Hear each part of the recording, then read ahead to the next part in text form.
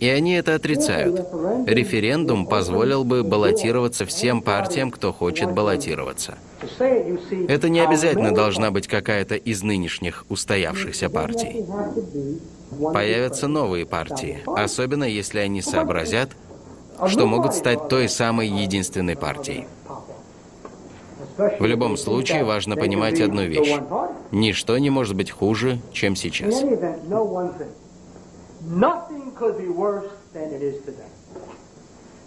Терять нечего.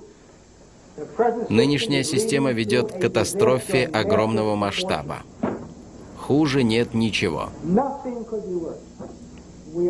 Мы движемся к катастрофе. Это ужасно.